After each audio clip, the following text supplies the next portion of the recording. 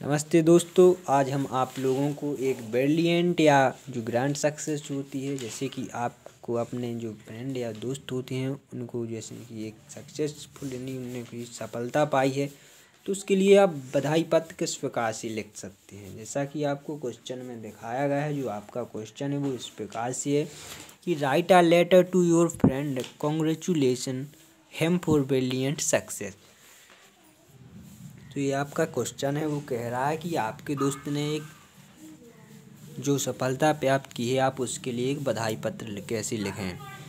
तो आप सबसे पहले यहाँ पर दिखाएँगे जो एड्रेस वो किस प्रकार से लिखेंगे। तो near G N C I Jatara on अट्ठाईस नौ दो हज़ार अठारह।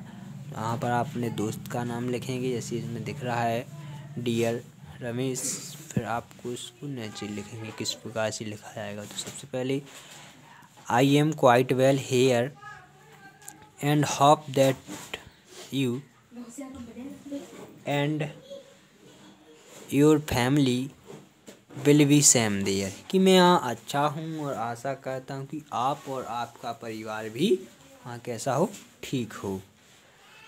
I found you letter today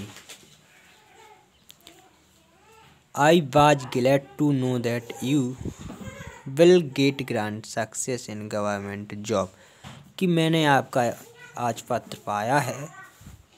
I was glad to know that you will get grant success in government job और मैं यह जानकर खुश हूँ कि आपने क्या किया है, एक गवर्नमेंट जॉब प्राप्त की है। You have joined at some days ago तुमने जो कुछ समय पहले क्या किया है ज्वाइन किया है। तो my parents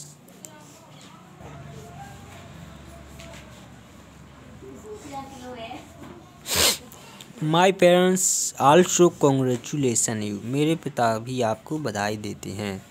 I hope that मैं आशा करता हूँ you always be get brilliant success in future मैं आशा करता हूँ कि आप हमेशा भविष्य में भी सफलता प्राप्त करते रहें।